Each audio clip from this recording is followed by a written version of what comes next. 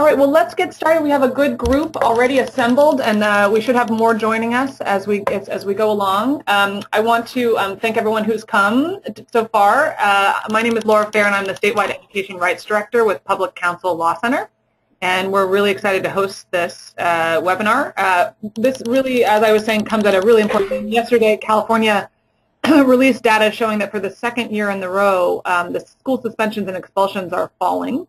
Um, and the fact that our school suspensions are down over 25% in the past two years and 15% last year alone. Um, in terms of raw numbers, it means that 50,000 fewer students were suspended last year than in the previous year, which is really good news, but we want to make certain that it, what it means is that our young people are getting strong alternatives and that our schools have the tools they need to really support uh, young people who are struggling with social emotional issues, behavior, uh, trauma, all those things that um, we know that you all work with every day. And so I'm going to turn it over first to David Yusem, who's the program manager for restorative justice at Oakland Unified School District. And then uh, Tyrone, he's joined by Tyrone Botelho, who's the co-founder of Circle Up Education.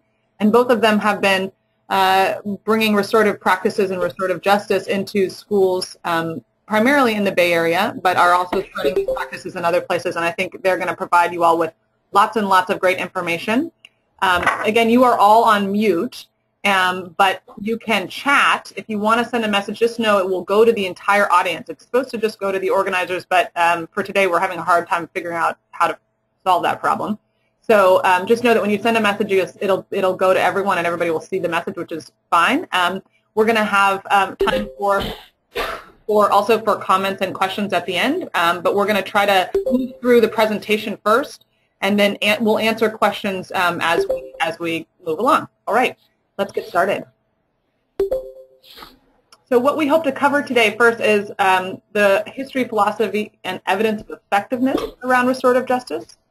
Tyrone's going to talk to us about the types of circles um, that can be done in schools and their purpose, why we do them the way that we do. And then also the elements of a circle. Um, maybe some of you have heard about the circle keeper or you've heard about the centerpiece. Um, and, and, David and, and Tyrone are going to share information about why those those things are, are important in, in creating a relational culture. And then you're going to actually see some restorative justice in action. Uh, David has uh, is sharing with us a wonderful video that's actually a student-led circle by students at Met West High School. And then you'll also see, um, Linda, you'll need to turn up the volume on your, your uh, hopefully someone can I'll respond to you quickly in a second. Um, and then the, we'll you'll you'll we'll, talk, we'll do some uh, frequently asked questions, and then we will go to a, really a whole school and whole district approach. David and Tyrone are going to talk to you all about how if you're doing this from scratch, how do you start, and then how do you put in place training, and how do you make sure that you're making certain that what you're doing is working. All right. So I'm going to turn it over to David. Okay. Thank you, Laura. Uh, good morning or good afternoon, whichever the case may be for all of you. Um, thank you for joining our webinar. Really appreciate you showing up. I'm going to about of justice, the origins, where it came from, uh, sort of the global view of what it is, and then I'll um, talk a little bit more about how we are rolling it out at Oakland Unified School District. So um, as you can see from the slide, restorative justice is based on indigenous values and practices. What I mean by that is that uh, indigenous folks all over the world seem to build community and resolve conflict in very similar ways, oftentimes in a circle. Sometimes it's around a tree, around a fire, around a kitchen table.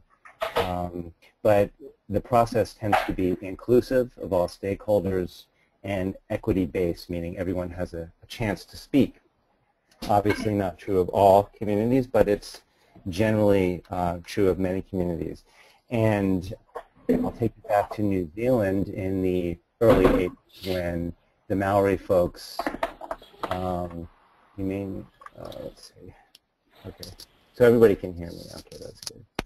Um, the Maori folks in New Zealand who are the Aboriginal people in New Zealand, their youth were overrepresented in the justice system, just like in Oakland and other major urban cities in America, African American students are overrepresented in the school discipline and in the justice systems.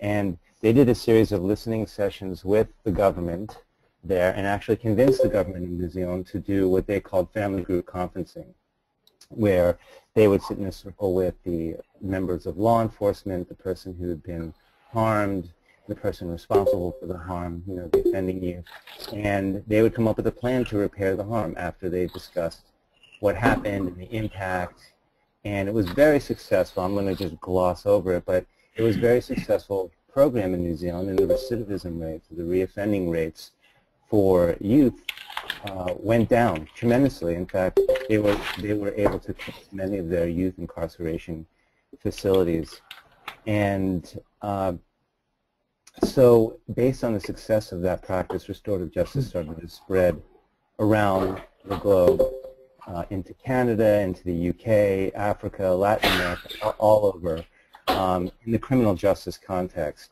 And it wasn't long after that that people started bringing it into schools. And I'll explain a little bit more about that later.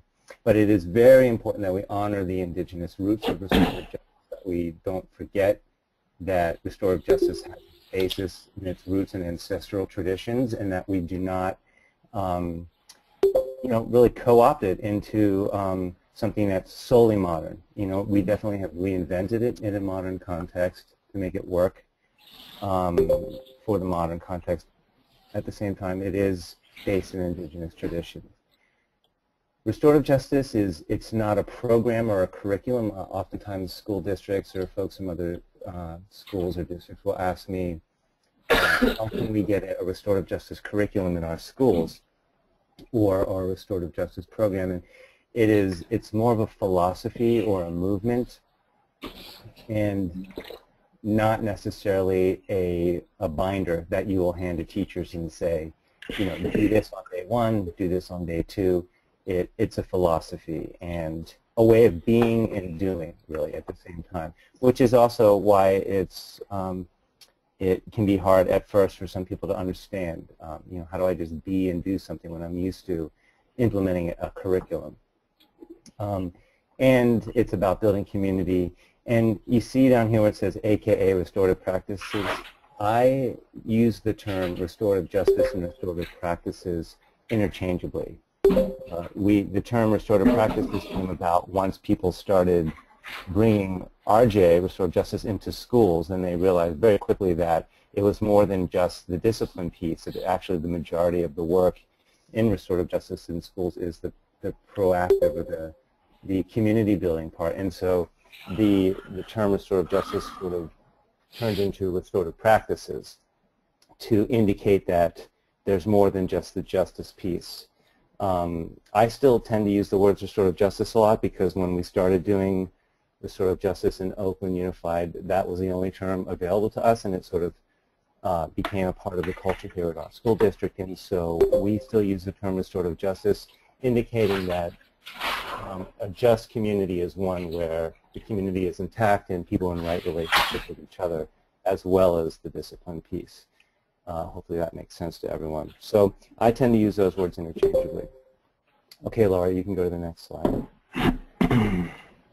okay, so RJ is a theory of justice, and it emphasizes repairing harm and meeting the obligations that that harm has created. So every harm has create, creates needs and obligations. The thing about restorative justice is that it's inclusive of all stakeholders and the community.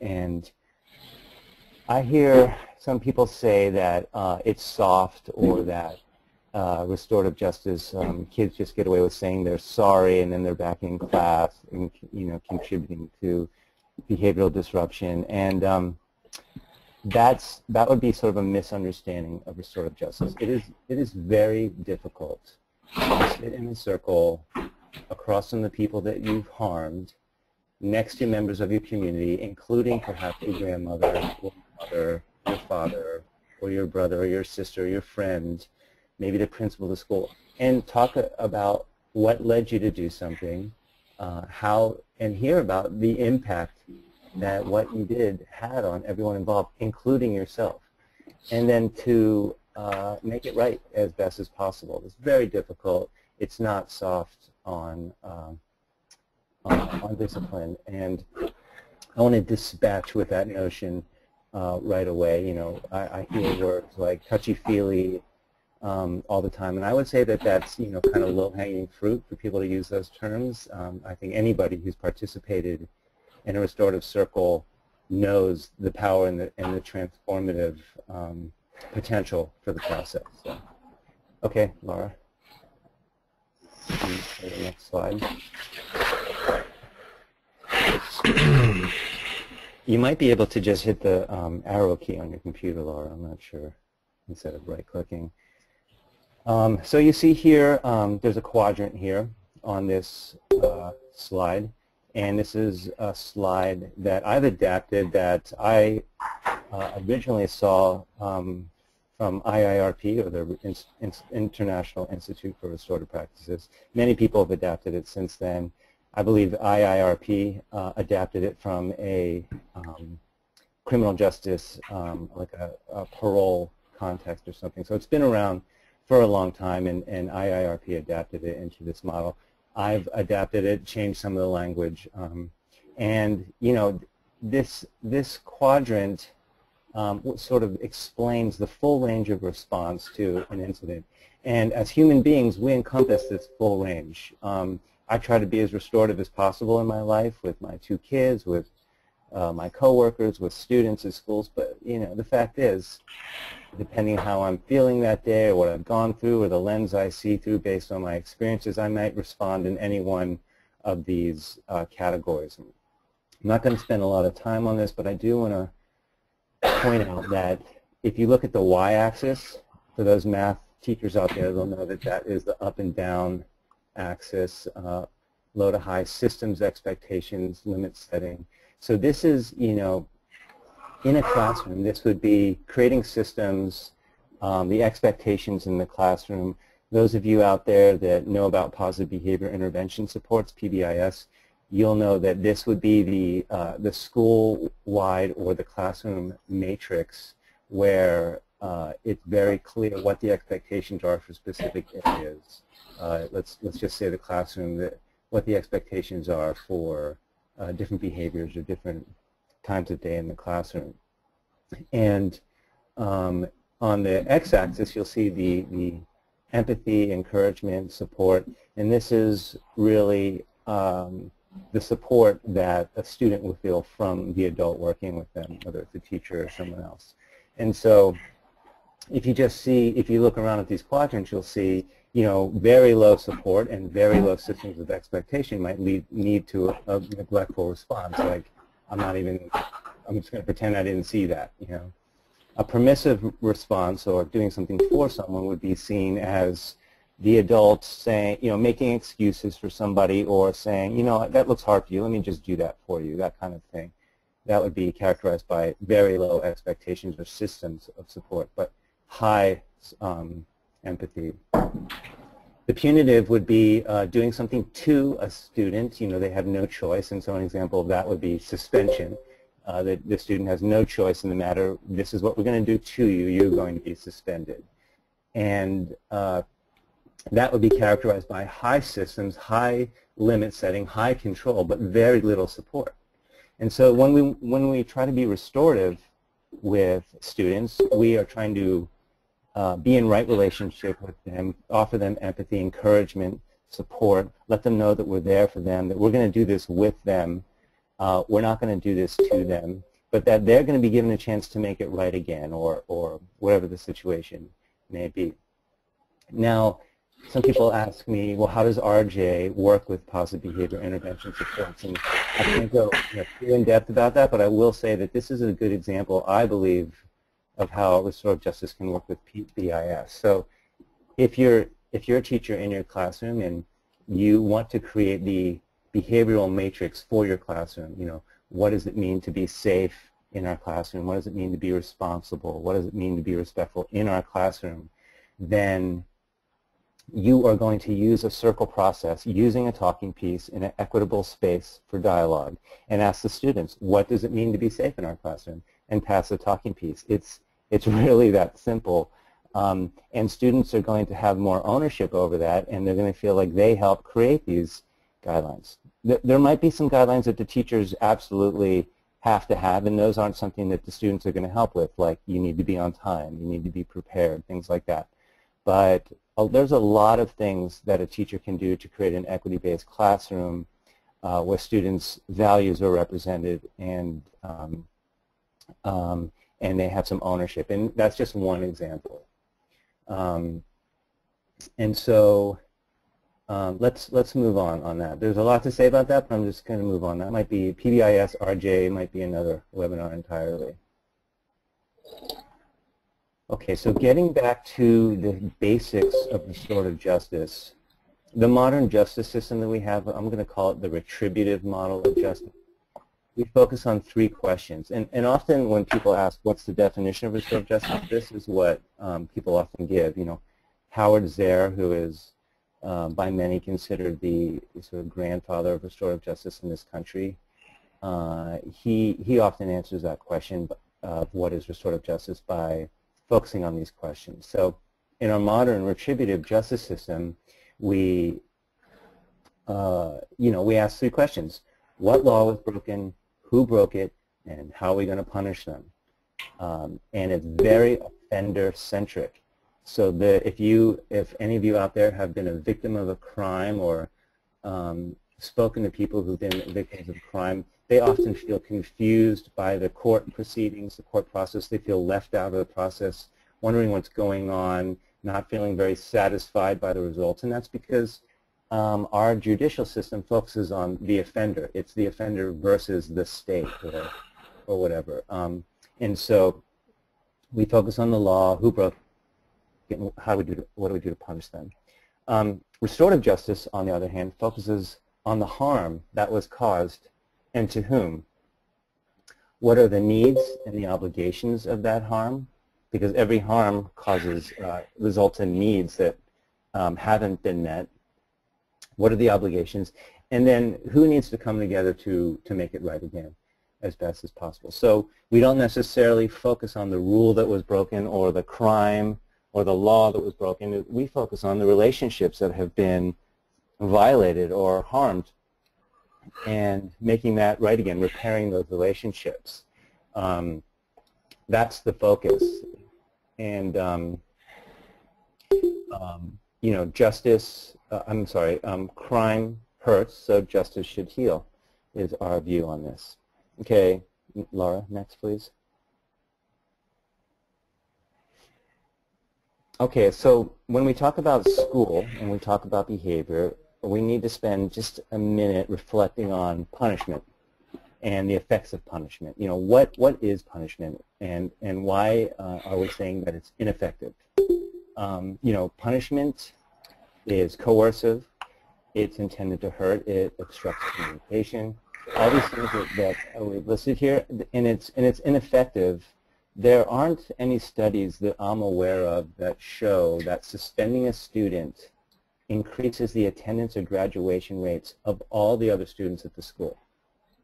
And there are plenty of studies that show that students who are suspended have a much greater chance of dropping out of school and entering the school-to-prison pipeline, entering the justice system. And so suspension um, has been proven to be uh, ineffective as a means um, uh, to stop behavior. And oftentimes, if you think about it, punishment is for the adult. They just want to get the student away. They want to distance themselves from the conflict. And discipline, if, if discipline is going to be a learning process, there's not much learning going on there with punishment, except for that there may be learning to be upset at the person who punished them but they're not necessarily reflecting on their behavior and what they can do to make it right again. Okay, next slide.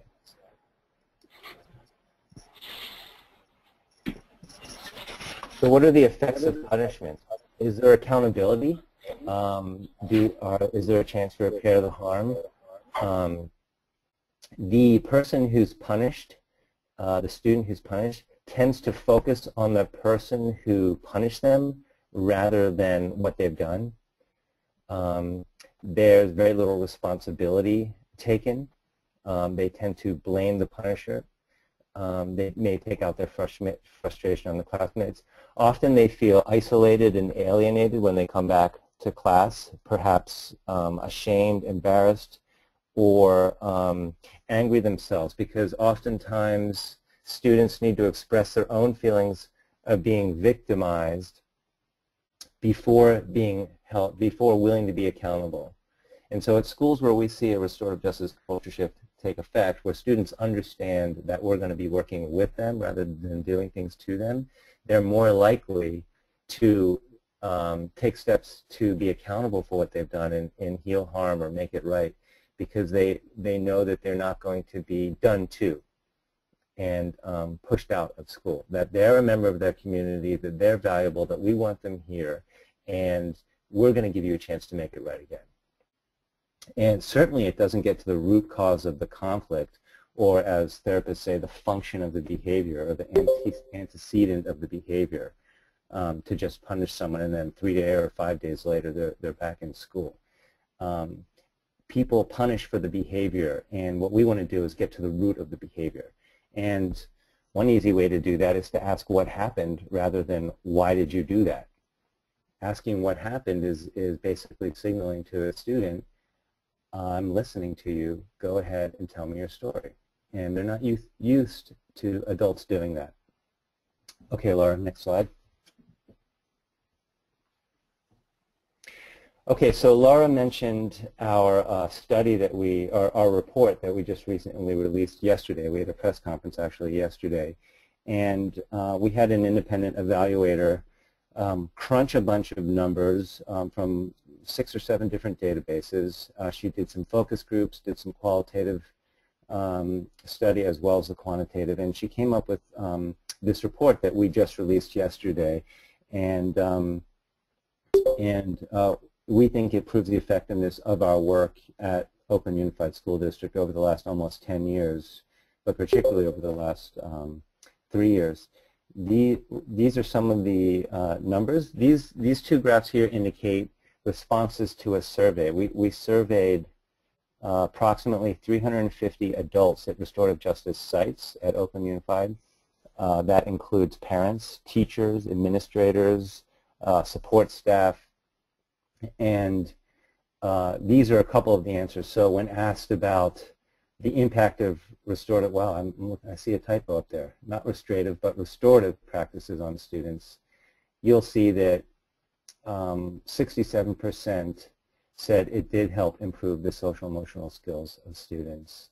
Uh, almost six, or 63% said it improved the way students resolve conflicts with adults and other students, and 55% said it improved the way adults at our school resolve conflict with students. So clearly this indicates that the adults who answered this survey thought that restorative justice was working on the social, emotional, and the conflict resolution level with the students and with the adults because it is a process where everyone in the school community is involved, not just the students.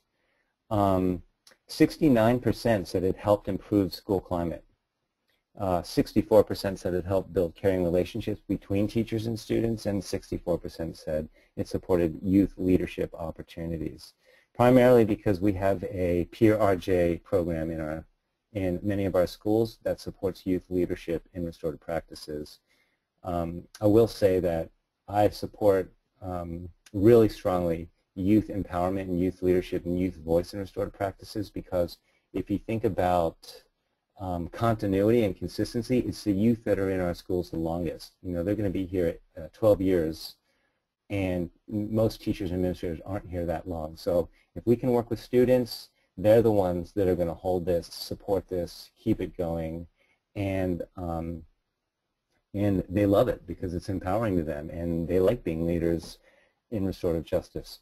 Here's some other numbers that we uh, that were um, found by the group called Data in Action who put together the report. The uh, principal there is Sonia Jain. So at restorative justice sites and versus non-restorative justice sites, these numbers are pretty um, staggering, but they are what she found, that the graduation rates went up 60% at RJ sites as opposed to 7% in non-RJ sites. Scholastic reading uh, level, grade 9, 128% they went up as opposed to 11% at non-RJ sites. Chronic absence went down 24% at middle schools at that um, that implement restorative justice, and it went up.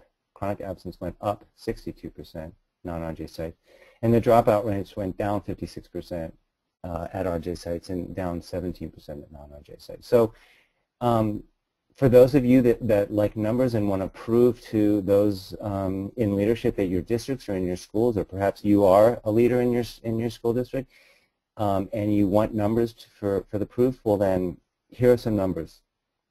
I can also tell you that anybody who goes to a restorative justice site where it's been happening for a couple of years will um, tell you that um, you don't need numbers to know it works. You can just talk to people. You can feel what it's like. You can see youth asking for circles rather than um, fighting, um, and and you know it works that way. But I understand that um, you know um, quantitative evaluation is um, really important, and so here are some numbers. And you can download this report, by the way, from our website, the OUSD website.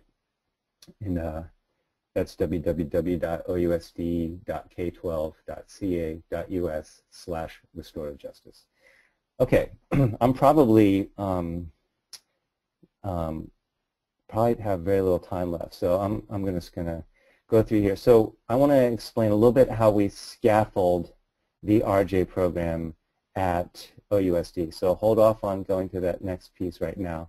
Um, you'll see we, we scaffold it along the response to intervention framework, RTI, and many of you know what that is because you're educators and you use response to intervention for mental health supports or curricular supports, uh, instructional supports, and so forth. It's, it's a common framework that's used in education, and therefore we uh, scaffold our RJ program along the same lines. And we've found that to take this philosophy that is holistic and to um, break it into these components, um, that it's, it's really helpful for people at school sites who are used to speaking this language, and it makes it um, seem doable because um, people understand that they might be only responsible for, for part of it. So I'll explain it to you right now. So tier one is everybody in the school, parents, students, teachers, everybody, support staff, community partners, um, building relationships with each other. This would include talking circles in the classroom, dialogue circles with parents, and providing an, an, equitable space for dialogue, meaning everybody has a chance to speak one at a time using a talking piece, uh, talking about issues that are meaning and relevant, relevant. And also this is a really important piece because this isn't just sitting around in a circle talking, wasting instructional minutes. This is actually building social emotional skills and um, very intentionally not marginalizing students. It's about including students. So for students who have been traditionally marginalized, in, in Oakland that would be African American students, restorative justice is especially effective because it includes them in the conversation. And not just in the conversation, but it includes who they are and their cultural values into the classroom. Okay? So when you sit in a circle and you're waiting for the talking piece to, to come around to you, you are exhibiting quite a few social emotional core competencies, self-awareness, um, empathy, social awareness. Um, you might be exhibiting responsible decision making if you're working with a group to come up with a consensual decision. And so the, this is very important. This tier one, I would say, is the most important part of restorative justice at schools. The most important part. Far more important than than the discipline piece. This is what we focus on when we go into schools first. We don't even go straight to the discipline piece. We talk about let's build community, let's uh, put all the pieces of the community puzzle together and, um, and build some social emotional capacity in a way that's equitable. Okay, next slide. The next slide, this is about tier two.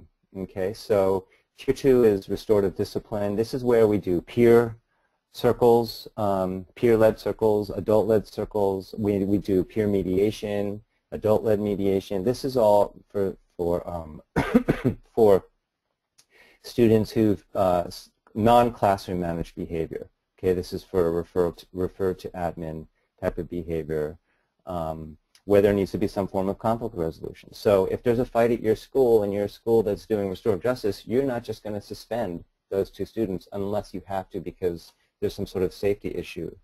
um, you're going to allow them to calm down, de-escalate, and then you're going to bring them together in a circle, maybe even with their parents, um, to talk about what happened and, and what can be do, done to repair the relationships and allow the other students to feel safe at school. Um, okay, next one. For us in Oakland, Tier 3 is about individualized support, what we call circles of support and accountability. This is where we welcome students to school who've been incarcerated or uh, involuntarily transferred from other schools, and we do circles for them after schools. We call them welcome circles to say, welcome to school. What can we do to make sure that you're successful and graduate? This um, is just makes sense to me. Uh, I don't see why we wouldn't welcome students to school. Um, but often what happens is the case, what happens is that a student will be incarcerated, they'll be sent to a new school, and it's like they're just thrown in the class. Uh, and, and that may, excuse me, may not work for them. I have a little bit of a cough, so I'm trying not to, I'm trying to suppress that.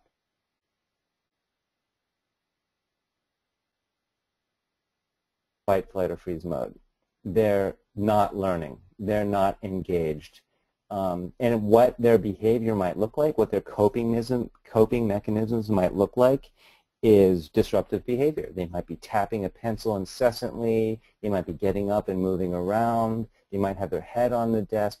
All these things that would be considered by an adult disrespectful, non-compliant, disruptive behavior might be mechanism, might be coping mechanisms for trauma. And we need to be aware of that, and we need to have a lens to understand what is um, what might be going on with our students. Okay, next.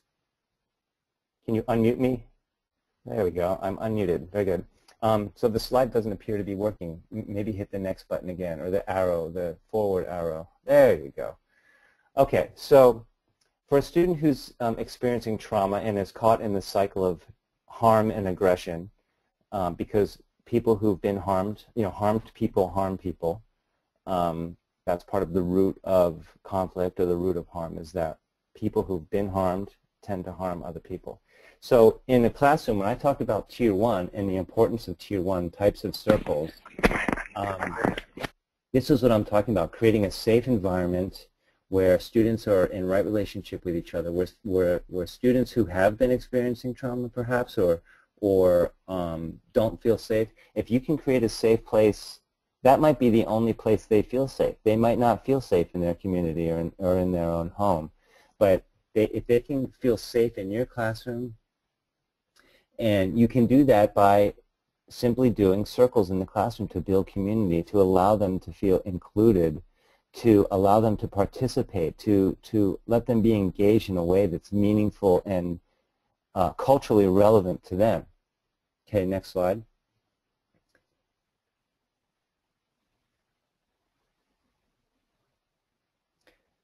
Uh, okay, so when you do that, only then can they access that executive functioning part of their brain because when they're in this fight, flight, or freeze mode, they are not accessing the executive, executive functioning part of their brain.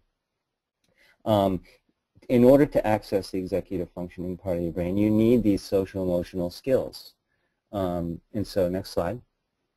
And once, once you're able to um, access the, the prefrontal cortex or the, or the executive part of, functioning part of your brain, then you uh, can engage with the Common Core.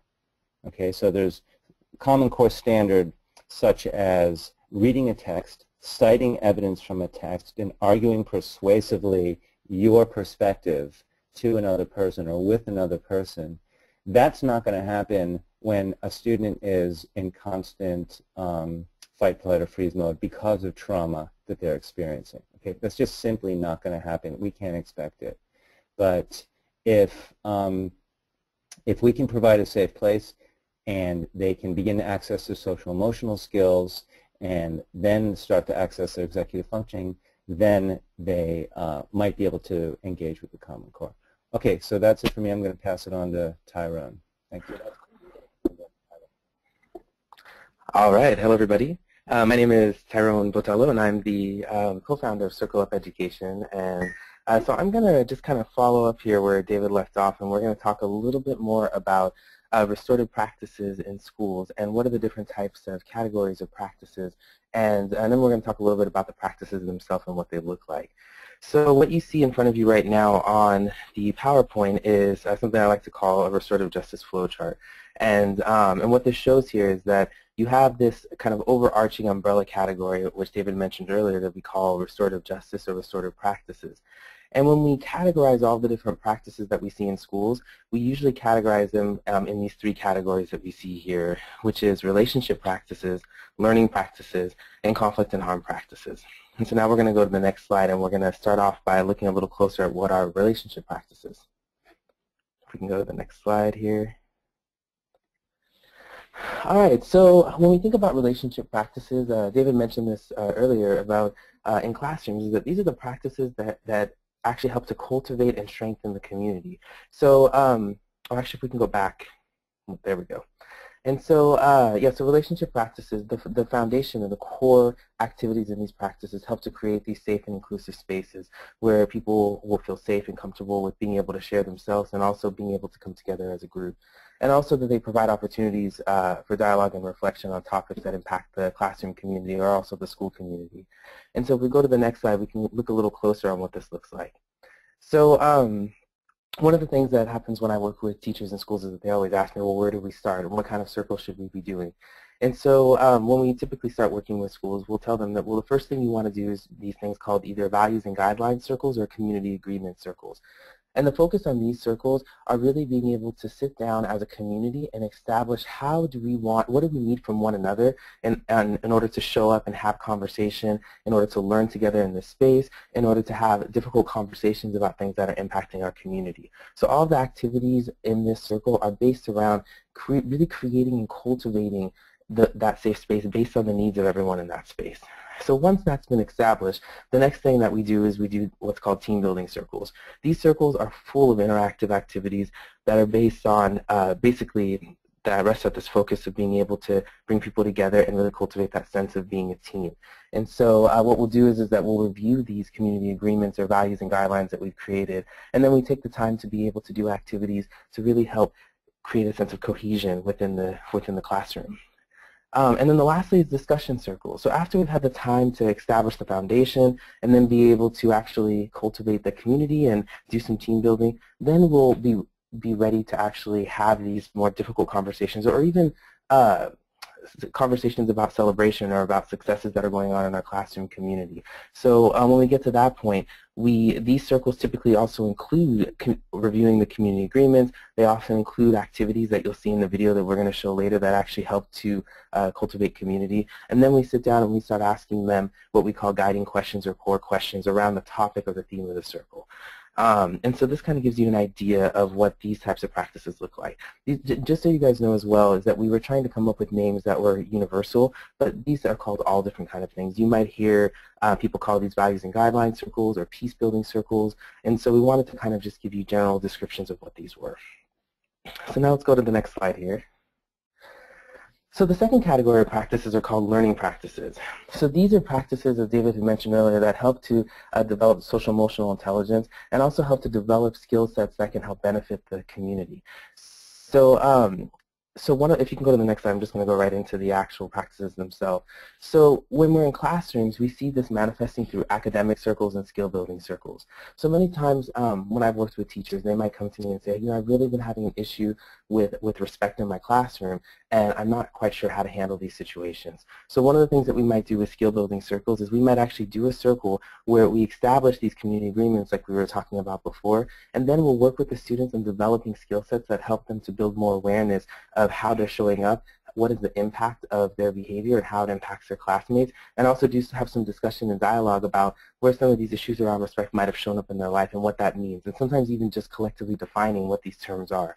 And so, um, so as it says here in the bullet points, that we help to develop communication skills, emotional awareness and expression, developing a sense of empathy, and also it really helps us to deal with some of these deeper issues of race, privilege, and class that um, that are showing up in our schools, and uh, and also with conflict resolution is that sometimes that we uh, we assume that students and also adults have the natural abilities to be able to solve conflicts or to even communicate their needs, and many times that's not the case. And so we can actually take the time to work as a community to develop those skill sets. Then with academic circles, this is where we actually use the structure of the circle, which we're going to talk about a little later, to actually teach and facilitate classroom lessons, where we'll use some of the foundational principles of, of circle practices and also uh, some of the activities like doing opening activities or doing uh, icebreaker activities to help uh, teach and uh, teach academic lessons in a way that, that allows students to be more self-reflective of what they're learning and also to help them critically analyze and process and reflect on what they're actually learning. And so these are circles where, um, which take a little bit of planning and processing, but at the same time they actually are also in alignment with some of the initiatives with the Common Core where we're actually having students engage a lot deeper on the academic topics that they're learning. So let's go to the next slide. So then we have the conflict and harm practices. So again, as David mentioned earlier, is that these practices are focused on equitably addressing not only surface level issues of harm and conflict, but also going deeper into the root causes. When we look at the conflict and harm practices, they also take the time to really ask deeper questions about what's happening, asking some of these restorative questions about what's happening, what are the needs that have arisen, and how are we going to address them in a sustainable way. And how we do that also is by taking the time to really cultivate a safe space and making sure that we are able to acknowledge um, the misunderstandings and that we take the time to prepare participants to engage in these practices. So when it comes to the conflict and harm practices, there's kind of like this spectrum of, of intensity that we see and practices that we use to address different levels of intensity. So when we're dealing with, um, with you can go, go ahead and move to the next slide. So when we're dealing with issues that are more of what I'd like to say, like maybe low-level issues or maybe de-escalating brief uh, situations that come up in the classroom and the school community, we like to use what we call conscious or restorative conversations. And the whole purpose of these um, interactions between teachers and students, or also students and students, is to be able to have a really respectful and um, and de-escalating conflict between two people with the purpose of being able to identify what actually happened and what are the needs and how can we direct students to a solution that's going to best meet those needs, not only for the student but also for the teacher involved. And so, um, and so we also use these practices as well to help prepare us for the more advanced uh, conflict resolution and harm practices that we use in restorative justice, such as harm circles and restorative uh, restorative conferences. And so the great thing about the, these restorative conversations is that it's not just about asking uh, what we what we call restorative questions. Is that we also um, like when we train people on how to facilitate these conversations, we also want to teach them about what are these basic communication skills that you need in order to facilitate the conversation. Because as many of you know, it's not just about what we say, but it's about how we say it and how we show up. So we want to make sure that students and, and adults actually have that um, that have, have a little refresher on those abilities. And we also talk about open-ended questions, that what does it mean to ask open-ended questions, and what does that look like? We also um, work with uh, teachers and students on how to explore needs. Many people aren't always aware of how to actually identify and articulate what their needs are, what their emotions and feelings are around a, cer a certain circumstance. And so we help to, uh, to develop those skill sets so when that communication happens, that people feel more confident in being able to uh, identify and address those. And then reflecting on solutions. So sometimes there's this sort of conversations that the actual conversation itself can produce the solution of a very of a minor incident that happens, where sometimes there just needs to be a brief conversation. But sometimes in actually having the, the restorative conversation, it becomes evident that maybe there are needs that need to be addressed in a different setting, or maybe there are the needs are, are more complex and that we need to have a more complex practice to address those needs. And so um, and so therefore planning would happen in order to um, to facilitate those additional practices. So now let's move on to the next slide. So uh, one of the things that I mentioned with restorative conversations is that we use these things called restorative questions. And these restorative questions are, um, are, are used during the conversation. I'm just going to kind of go through these real quick. We have what happened and what were you thinking at the time of the incident? What have you thought about since? Who has been affected by what happened and how? And what about this has been the hardest for you? And what do you think needs to be done to make things as right as possible? And so for those of you who've been uh, kind of exploring restorative practices in the community, you'll see that there's lots of different ways that people phrase these questions, but as you see, they're all open-ended questions, and they're all questions that are that are designed to produce a sense of deeper reflection for both the, the student and also the, the, um, the teacher or for the students and the students. And so, um, so yeah, so these are questions that are very different than what, uh, compared to what David was talking about earlier, which are the punitive questions, which was what, um, what, what uh, harm was, or what crime was committed, and what is the punishment that's going to be, um, that, that is necessary now because of that. So let's go ahead and go to the next slide. so then we look at, um, at, at some of the more advanced conflict resolution practices. So we have what's called solution circles, harm circles, or restorative conferences.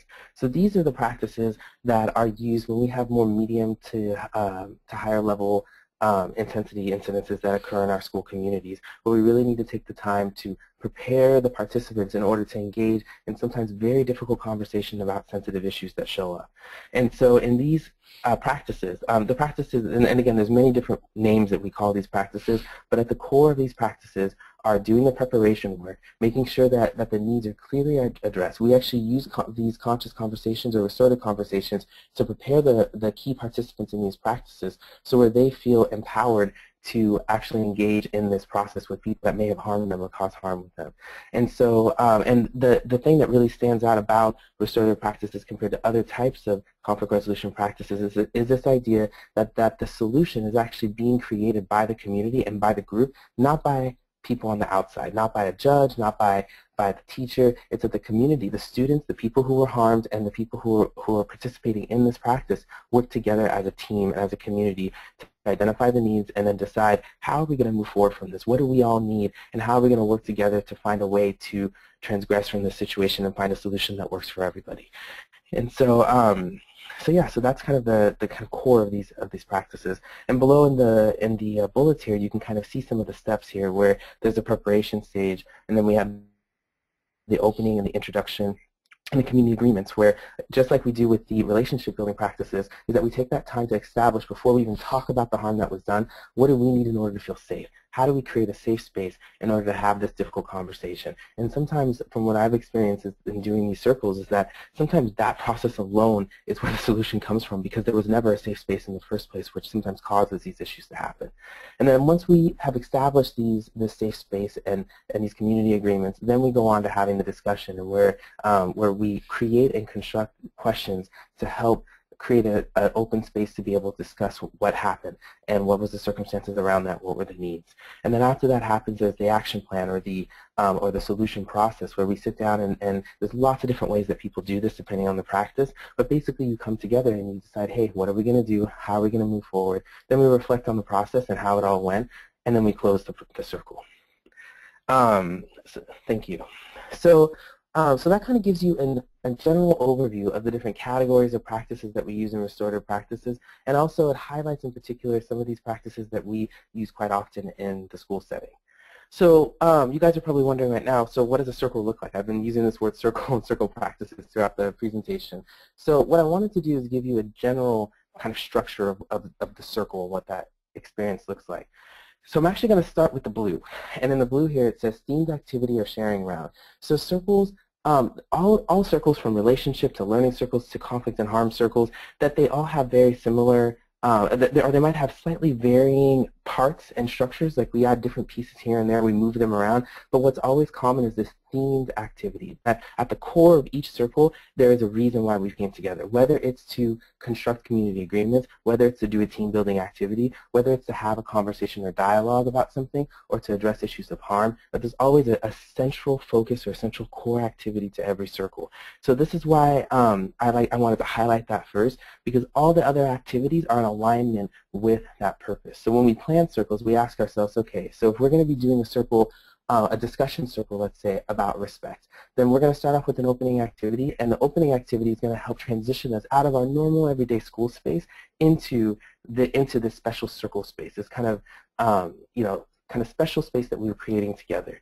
So we'll do activities um, such as, there's a really fun activity that I like to do called Making It Rain, where we uh, do body movements with our hands to kind of just kind of shake up the space a little bit, make a little noise, and, and usually students like that a lot because it just kind of gets their attention and gets them moving. Or we'll do some activities where we'll maybe read a poem, or we'll have some music playing, and uh, we have students move around or uh, get to know each other and do a little bit of mingling.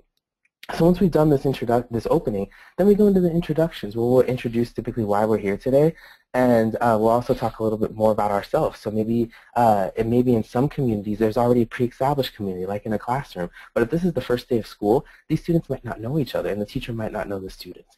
And so it can be really helpful and beneficial to just take some time to do some activities around getting to know each other. One of them that I like in particular is a really simple activity, which is tell me a story about your name, either your first name or your middle name or your last name. And you'd be surprised at how how much people can open up and, and learn from someone about the stories and the histories of something as simple as their name. So then we go into the community agreements and creating the safe space. So these activities that they show up in, as you saw, in every single category of practices because they're really at the core of this work is being able to really create a safe and secure place for people to be able to show up in Circle. And so we'll take the time to do that. And there's many activities from doing uh, what we like to, which, which one of the activities you'll see in the video, which is called the paper plate activity, where you actually take the time to ask people to write on a paper plate, what do you need? What is a value or a guideline? How would you like to show up and how, what do you need? How do you need other people to show up in order to create a safe space? And so then there's um, these two other things here, the talking piece and the centerpiece. So the talking piece, personally, I think it's one of the most beneficial uh, tools that we use in the circle. And um, what the talking piece does is that it's a, it's a simple tool. It can be anything from a pencil to a piece of fruit to a very special stone or an object that has meaning to the community. But there's some simple guidelines around the talking piece is that when you're the one who has a talking piece, you're the one who gets to speak and to share whatever you need to share in that, in that moment, whatever speaks to you. And that the rest of the group agrees that they're going to be able to listen to you really openly and, and with their hearts and with and uh, without judgment and just really open themselves up to hear what you have to say. And the thing about the talking piece is, um, as I know with myself, even with my family, with my friends, is that sometimes when I get in an argument or discussion with somebody, that I feel like I'm trying to listen to them, but I'm also trying to prepare what I'm going to say next because I feel like I have to squeeze it in somewhere as they're trying to, you know, talking back, back to me so fast. And so with the talking piece, it just allows me to sit back and to take a deep breath and be like, yeah, I'll have my turn. My, my, my job right now is just to listen and to focus on what they're saying. And it can really shift the whole dynamics in conversations or in meetings that we have with people. And so we make an agreement to use this, this talking piece. Then we have the centerpiece. And, um, and I'm, if you've ever seen pictures of circles or what you also see in the video is that typically in the center of the circle there is this thing called the centerpiece. And the centerpiece is focused on creating a, a central point uh, where all that, that kind of focuses the circle. And what you'll find in the centerpiece are typically items that are reflective of the community or that have significance to either the theme of the circle or to the people that are in the circle. So sometimes people will bring items that are relevant to them or that have special meaning to them and use them in, in the center. So then um, Next, we have the icebreaker. And as we see here, the icebreaker activities, I know many of you have experienced icebreakers, but these are typically activities that, um, that kind of get things that, that, shake up the space a little bit, that help people feel more comfortable in circle, and that also are really, really great for helping to do team building and helping to strengthen the, the cohesion of the group. So some really great examples of uh, some icebreaker questions are share a happy memory that you have. Um, if you could be a superhero, what superpowers would you choose? If you had an unexpected free day, what would you like to do? Or if you were an animal, what animal would you like to be? And I always like to ask people too, if you weren't here in this circle right now, what would you be doing? Or what did you do over summer vacation? There's lots of different ways that we can uh, ask icebreaker questions, and there's, there's many great books on this as well that we can share with you if you'd like. Let's go to the next slide. And um, and here's some also examples of the check-in questions. Um, and and but before I go into the check-in questions, the last step after the icebreaker is again you have the themed activity, and then you have some reflection after that activity where we reflect on what happened and what this experience was like for us, and then we go into the closing where just like the opening, we transition right back out of circle and we transition back into our normal lives.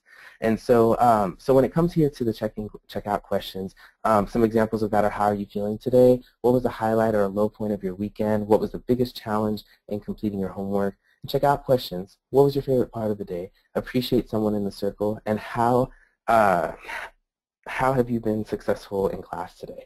And so it's interesting because sometimes when we start off working, uh, for those of you who are teachers in the classroom, is that you know maybe you're working with 30 students and you have no idea what happened in your students' life the night before, whether your students might have even had breakfast or might, maybe they had a fight with somebody or their parents. And sometimes just doing a simple thing as checking in with them and creating a space where we can just be like, hey, let's take a minute and just check in and see how we're doing today, is that it gives teachers the ability just to be able to gauge, well, hey, I have some students that might be struggling today. Maybe I need to be sensitive or just be aware of what their needs are and how they might show up based on that. It can be a really powerful and really simple 5 to 10 minute tool that, that you can use in the classroom.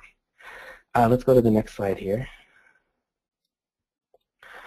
All right, so actually I covered most of these uh, elements of the circle actually. So um, again, the centerpiece, um, when we create the centerpiece, we typically have items in the, in the center that, um, you know, baskets, flowers, fruit. Um, when you look at some of the indigenous roots of this practice, they, um, they often include the different elements in the circle, where they'll have some kind of living uh, plant or tree, they'll have water, they'll have fruit. I like to keep food because people get hungry in circle, and so especially when you're talking about difficult issues.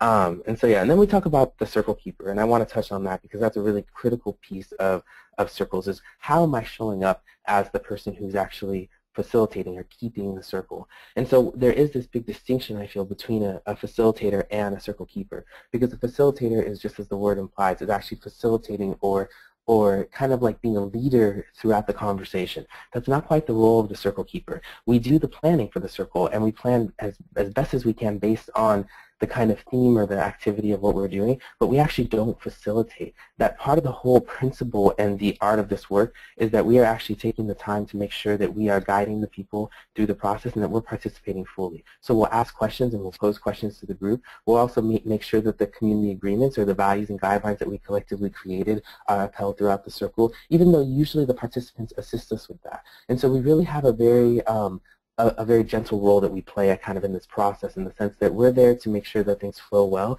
but we're not there to facilitate or to lead the process. So it's, it is it, at the very core of this work, again, it's all community-based, that we work together with the students and with everyone to do this. And you'll see this in the video as well. And so, um, yeah, and so I think that that kind of covered most of the things here that I wanted to talk about. I'm not sure if, uh, if we wanted to talk more about the tree at all, but I think that that covered um, most of the things here. So, um, yeah. So now we're going to transition on to the Met West video that uh, that David Yusem was talking about, um, where they were actually doing a um, a relationship building, community building circle in their classroom. So we're going to transition to that video right now. All eyes are on me. I, I, I like sweating in the hands and stuff. I was like nervous. I think this is the wrong video actually. We were going to watch the Met West video. We're gonna just we'll just move ahead with this one. This is a reentry circle. They like to it was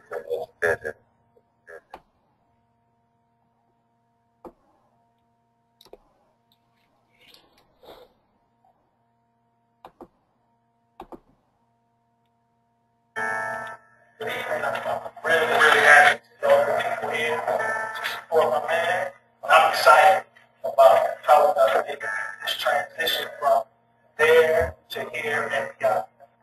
First of all, I don't care about him feeling uncomfortable. I know where that feeling is coming. That feeling is coming from a place where I don't know what's going on here. And this is different. The problem is when a kid doesn't want to be in circle, it's because I don't trust you so I can't trust that process. So we have more relationship building to do. So here,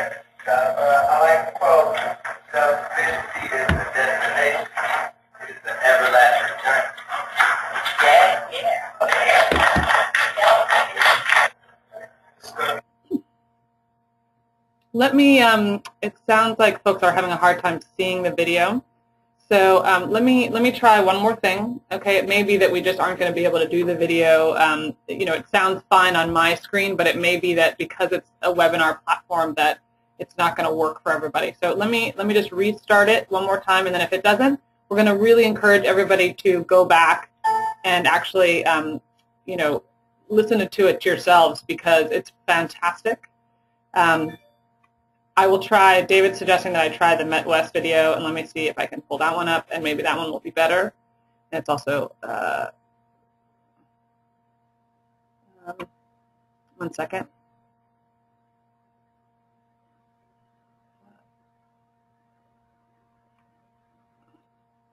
Here we go. Let me see if that one will work because it's coming from their website.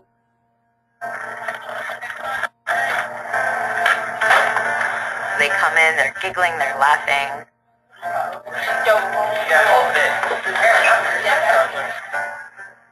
And there's just like a lot of kind of like giddy, intense energy. In the circle and their, their relationships with each other actually kind of like quiet something in them and allow them to be more present for each other.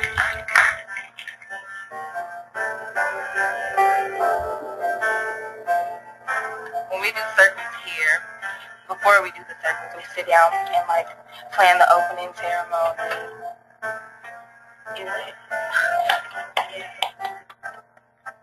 My great hope is to laugh as much as I cry, to get my work done and try to love someone. And I have enough courage to accept the love. My angel. And high school especially. Like we don't have enough, you know, connections. Like, you know, everybody just all focused on the work and, you know, stress at home and stuff like that. And circles create a space where people can talk about their feelings, about how they're doing home life. Now we will do our class values. The first one was being open. The other one is respect. We share our values, respect each other, and stuff like that. You know, we all are still humans, and people get sensitive sometimes. So we're trying to make sure, you know, that everybody feels comfortable and dealing with their feelings hurt. Okay, now we will share an object that relates to hope. I have my I Hurt Being Black bracelet because um, hope that everybody proud of who we are. I got this play to win thing from a boy trying to win things, bags on top. And this brings hope because like it just keeps me going. My mom made this uh, necklace for me, and it represents hope because she never had time to do anything for herself. They're being asked to be vulnerable to a group of people, which is kind of like antithetical to what it's like to be a teenager, which is what's the best way to hide right now. So the first thing that I do is I share as deeply as I possibly can. I feel like if I can share deeply and from my heart and listen really attentively to other students, they're looking at me Okay, folks, we, we tried. I'm so sorry. Um, it worked the other day when we tried it, and it's obviously not working now. So what we're going to do is we're going to send out a link to it for you because it's extremely powerful.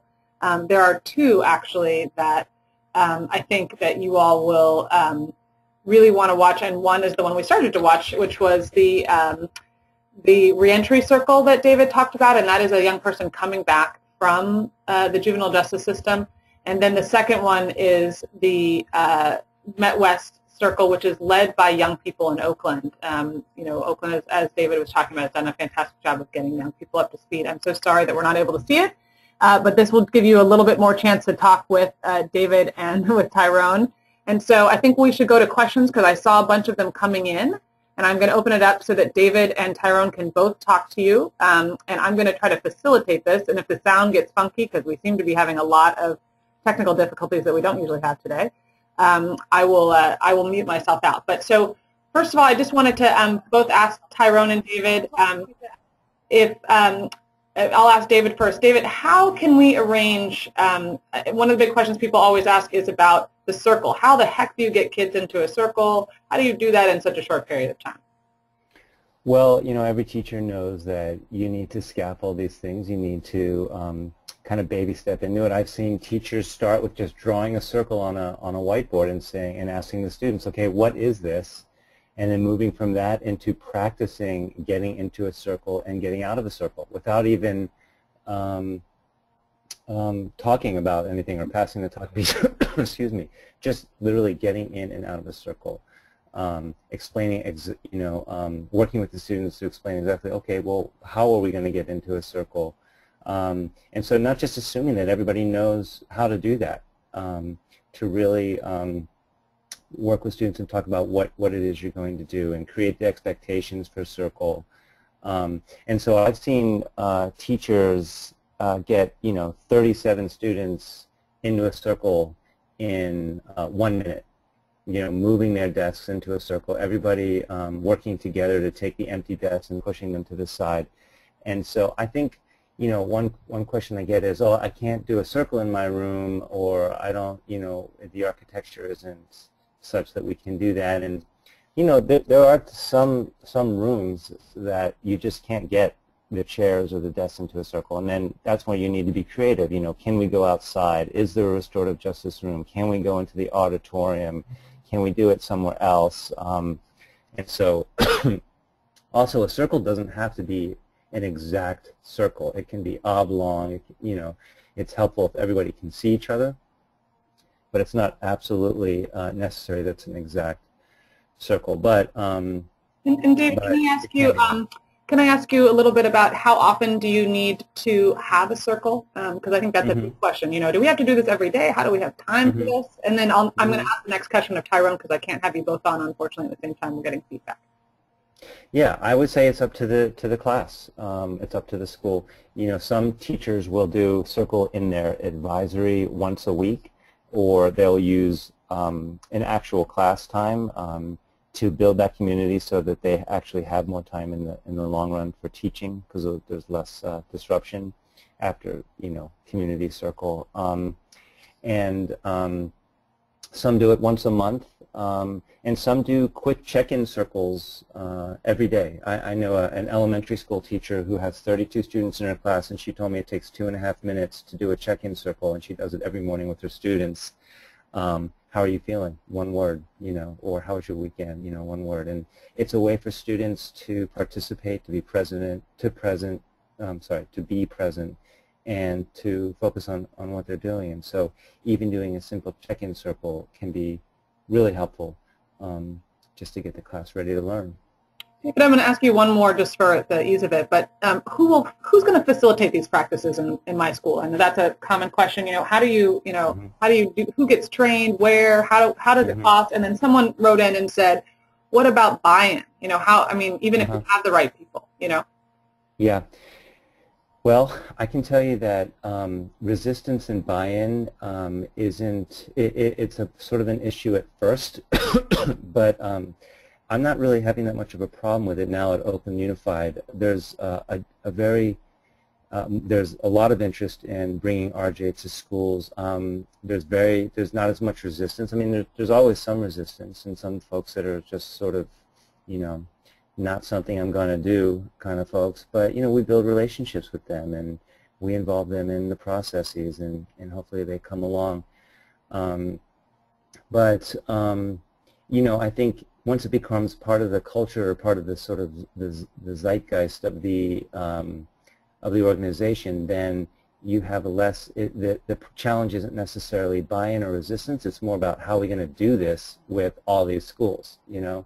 Um, but in, in terms of who do who does this, who gets and how we do the training, we do all of our training in-house, and so we hold district-wide trainings that people from the sort of just site, justice sites come to, and we scaffold them along Tier 1, Tier 2, and Tier 3. And Tier 1 being the intro to restorative justice and how to do a talking circle and restorative conversations um, that Tyrone um, discussed.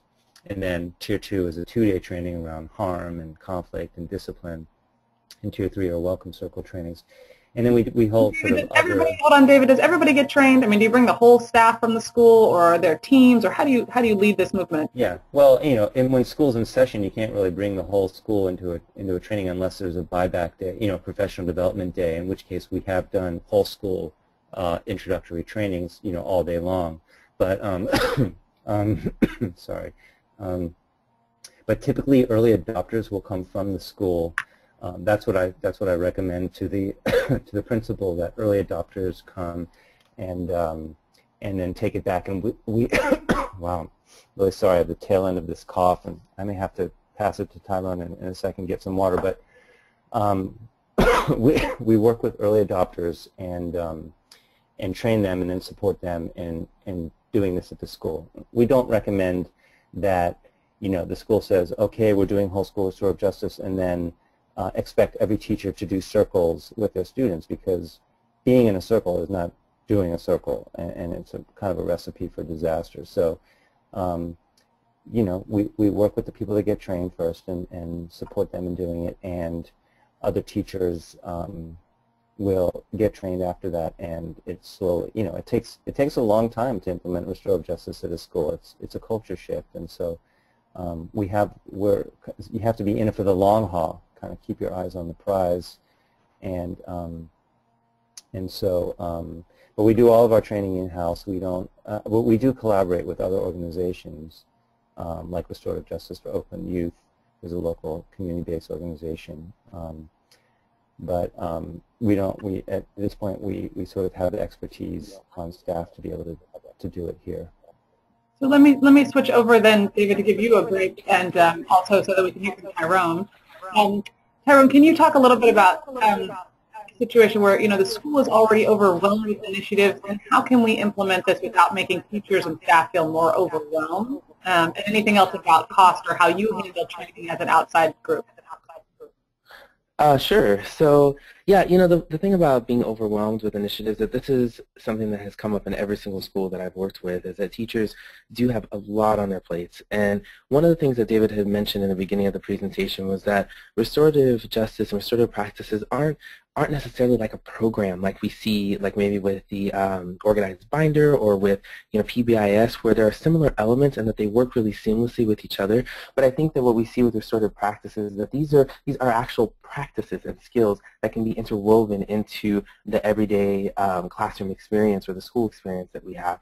And so when I when I do trainings with teachers, I, I make it a point to really show them how, you know, we're not asking you to do something brand new, is that we're giving you some structure to actually help you with some of the things that you actually want to accomplish, which is having a, really, a healthy and productive classroom community with having really um, good relationships with, with, with your students and also with your peers and your colleagues. And also, as we were talking about with the academic circles, helping you to accomplish some of your goals that you have academically with the Common Core and also with uh, finding new and, and exciting and interactive ways to engage your students in learning. And so when it comes to uh, facilitating practices in the school, like the third question here, and who gets trained, where, how much, and how much does it cost?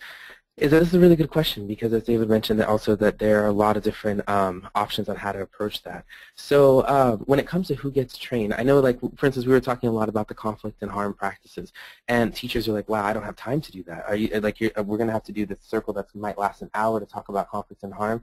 Well typically when we work with schools we also try to train people in the skills that are going to be reflective of what their role is in the school or what their capacity is. So teachers typically are working more so doing relationship uh, community building circles and also circles around learning in their classroom. And some of the skills like con uh, restorative conversations, conscious conversations, that yeah, they, they will use those in their classroom. But when it comes to some of the more uh, advanced conflict resolution practices, this is where some of the classified staff, the principal, the, um, the, the school counselors, also sometimes even the janitor and the, the cafeteria staff and some of the other classified staff, we look for staff in the school who actually have really strong and, and, and deep relationships with the students because these are the people who tend to be more neutral and also who, who tend to be able to relate more with the students. And so we, we kind of do this analysis process where we look at, okay, who do we have in our school, who, who, has, who is really interested in this work, and how can we develop their skill sets in order to do this. Um, when it comes to cost, the costs really vary. Um, depending upon whether it's a district initiative or when it comes to schools.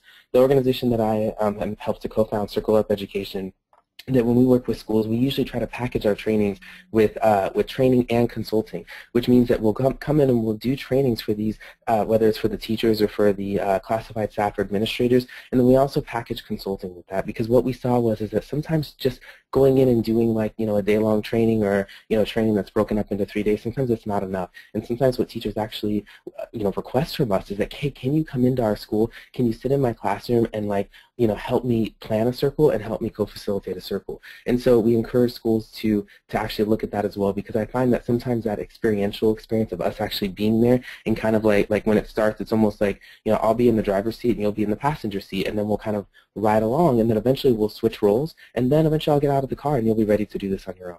And so it's really about that, you know, taking that time to build the capacity. Um, and then when it comes to, I really wanted to touch upon the second question too, how often do you need to have a circle?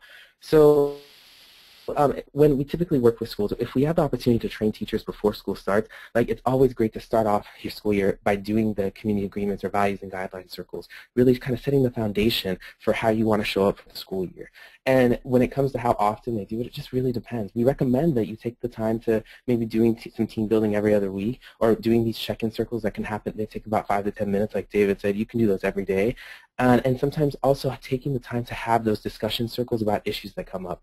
Um, I know that like recently, you know, we've had a lot of school shootings. The one, the one that happened in Washington recently, it affected all the schools that I was working in here, as well as my colleagues, because many of us have experienced, you know, having our schools on lockdown. And, and in most schools, we just continue as business as usual after that, where a traumatic situation happens and we don't create the space to be able to talk and to process. And so I also say, yeah, when stuff like this happens, it will be more beneficial for you to stop your class, take the time, process this with your students, and then be able to move on to be able to discuss, you know, and continue with your academic uh, with your ac academic curriculum. And I think that teachers who do this, they really see the benefits in the school. And also taking the time to have those conversations with the staff because restorative practices are not just for students. And most schools that we work with, we actually start working with the teachers because if the teachers don't have a sense of community, if they don't, if they don't, if they don't feel like they have support from one another, then that can actually um, that can actually be reflected off to the students. And so you can't just ignore the, the, staff and the needs that the staff has in order to create a healthy community as well. Um, can I just add? Um, someone just emailed in asking, you know, um, can you have a coach or someone not in an authoritative role conduct a circle? And then someone else asked, does this work for special needs populations? Uh, yeah, the first one was about the, the coach. Do you have a coach? Yeah, I, you know, one of the things that I've had, uh, one of the conversations I've had often in schools with principals is that, and, and even vice principals, is that many of them are very passionate about doing this work and they really want to be able to be engaged with their students, but I also remind them that they do have positional power in, in their in their school setting. And also sometimes teachers have that. And and so when it comes to actually doing circles around conflict and harm, we always remind them to try to find people who are who are more neutral, like like some of the classified staff or some of the school counselors or even parents. And uh, many schools have very strong PTSA groups or parent groups that can help assist with these practices in dealing with conflict and harm who are very neutral. And so yeah, it's really good to, to pay attention to positional power and, and it, it's just, you know, if you're a principal, the students might not feel comfortable with you. You have to kind of, you know, it, it's be, being really conscious and aware of that. Now, when it comes to special needs populations, I, I don't have a lot of uh, information around that, and I'm not sure if there's ever been studies that show that RJ is successful with that. I do have colleagues that work with special needs students, and that they have, they've done like modified versions of circles where they're not a, I'm, and I'm not sure exactly what that looks like, but I know that they have been used, but I don't have any statistics or data around the success of that. So let me, I'm going to switch over to um, David here. Just give me a sec. I have to move move things around. But the question that I want to ask you, David, is the same one about special needs populations. But I also want to see if you can address this, um, yeah. the, the issues with uh, staff thinking this is going to let kids get away with things, and also the pushback, because I imagine implementing at the beginning, particularly in OUSD, wasn't easy. And I just want to point out, you guys are only still in 24 schools. I know you are going to be expanding or, or have plans to, but I think it'd be great to address um, both of those things, if you wouldn't mind. Yeah, yeah, yep. Um, we're in, we're in about 27 schools right now, um, and a lot of interest from elementary schools. But special day uh, or um, youth with special needs I have seen uh, a lot of, I've trained a lot of teachers that teach special day classes, um, and, and they use it in their classes, um, and they have to differentiate. Sometimes they use sentence frames um, in the circle, but the process of the circle talking piece, um, you know, when, when you do it with anybody at first, adults, youth, um, people don't really follow the rules. They, they talk out of turn. They don't necessarily follow the the talking piece, and, and that's fine. That's just you know part of the part of doing this work is that at, when you do it at first, a lot of times it doesn't work, um, no matter who you're working with.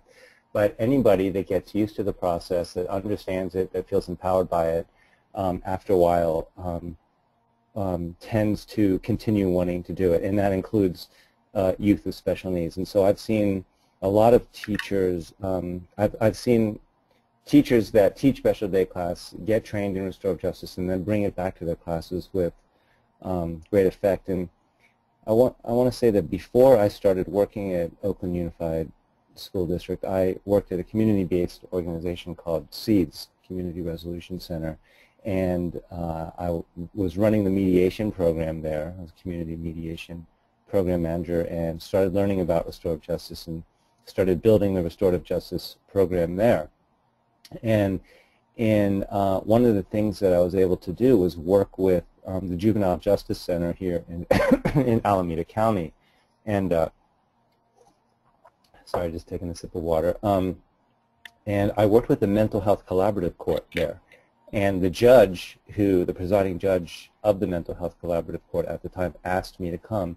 And I did circles with youth with multiple mental health diagnoses um, and the victims of their crimes to fulfill restitution. So these are youth that have been convicted uh, and were on probation, and and um, we would do circles. Now, I, you know, when I met with the youth and his or her family ahead of time, we would we would I would sort of um, gauge to see what was possible. You know, how would I have to amend the circle? Would I have to make it you know shorter? Would I have to take more breaks? And some I was thinking about this, but what I found was that these youth, even youth who had been diagnosed with you know um, um, ADHD and others um, um, diagnoses like that, that when they were engaged, uh, that that I was able to uh, do circles sort of just like I always do, um, and you know they they participated fully. So uh, I'm sure there's some students that this um, would be very difficult to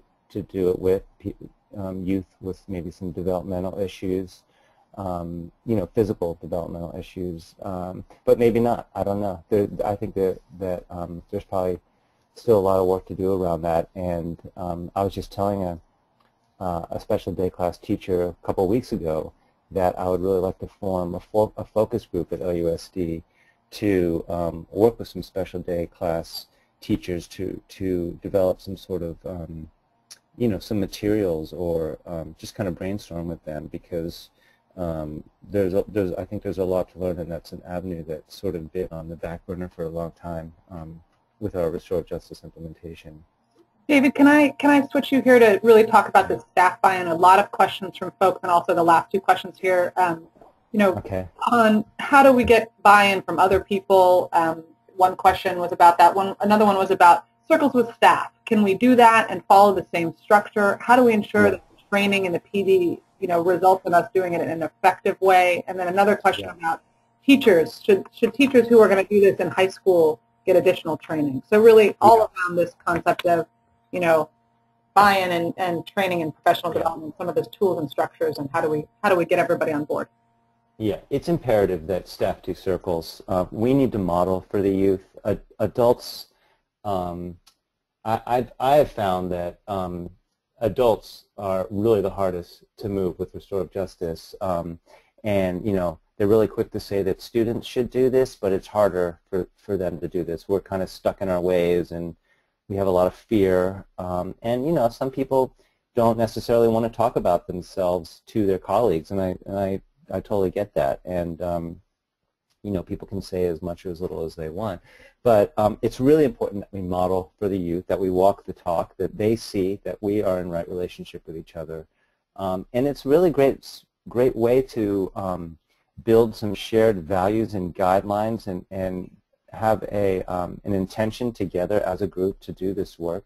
And it's an excellent way to talk about things um, as, as a school. If you're going to um, you know, change your schedule um, and you need to talk about it with the staff, you can do circles. You, you can break the staff into different you know, circles of like um, five to ten circles each or um, or you know if you have less staff one big circle and you can talk about those things I would say it's important to do the shared values and guidelines first, and um, before sorry before you talk about um, more deeper things like say race or something. Um, but it, it is really important, and that will also in turn help with the buy-in of the resistance. Um, when when we're talking about buy-in, um, you know, like you know, like any kind of change, uh, like any kind of culture shift or paradigm shift, you're going to get early adopters that uh, you can work with at first that are that are really on board, that want to try this, they're innovators, uh, they want to bring this. Um, they may be do they may have been doing it already, just calling it something else, um, because you know this is an ancient practice and sort of I think it's within sort of us as humans to want to be like this. So many people already do this, um, or or some part of this. Um, and then you get folks that are sort of ambivalent or like, well, I'll wait and see how it goes, and I'll, I'll, um, I'll you know, see if other people are successful. And then you have folks that are just like, nope, not going to do it. Um, it. I have a sort of fundamental, um, you know, disagreement with this. And, um, uh, you know, those are the folks that, that they just may not do it. They may not get on board. And if the school goes in that direction, um, you know, I would say that it's important to build relationships with them and, um, um, you know, work with them and involve them in the process to, um, and, and, you know, I've seen people that are incredibly skeptical, especially some, some teachers on special assignment or administrators, just, you know, um, think that this is just, um, you know, just really not agreeing with, with restorative justice or, or thinks that, think it shouldn't be in schools, um, completely flip by participating in a circle, especially a harm circle, where they, they see transformation literally before their eyes, personal transformation. Um, and then they're coming to me asking for materials, wanting to be trained, um, and so forth. So, um, so I always work with those early adopters, and it's all about relationships. You know, you know, in real estate, they always say location, location, location. Well, in RJ, it's relationships, relationships, relationships. And um, if someone's, you know, resistant or skeptical or, or even, you know, putting up a fight, then um, you, um, you, you don't push them away. You go towards them and, and you build relationships with them and, um, and, and work with them and, and build, your, build the trust between, between you and them. You know, one thing I've learned about resistance, we, we I spoke, was speaking with some people in our social emotional learning unit of our department, and um, one of them actually did a professional learning with me and my staff, and you know, the, she was telling me that there's three types of resistance. You know, there's uh, an emotional reaction, like walking into a room and the chairs are in a circle and wanting to run the other way, um, that kind of resistance. There is, I just need more information type of resistance, and, and you can just give them the information or involve them in a training or bring them into the process, um, that kind of resistance. And then there's just, I have a fundamental disagreement with this. You know, I just, I, with, all, with every, you know, fiber of my being, I, I, I disagree with this or, or um, you know, goes against my religious beliefs type of, um, uh, of resistance. So, um, so it's going to look different with each with each person, and so um, it's really about building the relationships with them and um, and uh, allowing them to see that it works, and knowing that it takes time.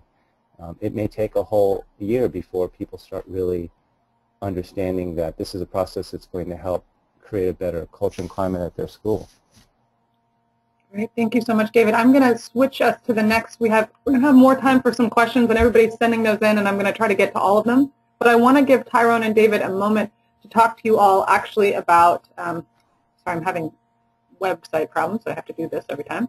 Um, I, want, I want them to actually chat with you about implementing RJ from scratch. So we've gotten a little into the details to answer some of those burning questions, but I actually want them to talk to you about what it would look like in a school where you are or where you're working if you wanted to start from zero. And I know someone also emailed that they're maybe with a community-based organization and they don't think their school will will um, will do this at all. Um, so I, I wanted to see if um, I'm going to let Tyrone start, um, and then David will switch back to you. Tyrone, if you could talk about what you do um, when you are working as a consultant and a trainer with schools, how you come in and, and sort of the process you go through, and then I'll switch it over to David to, to add on to.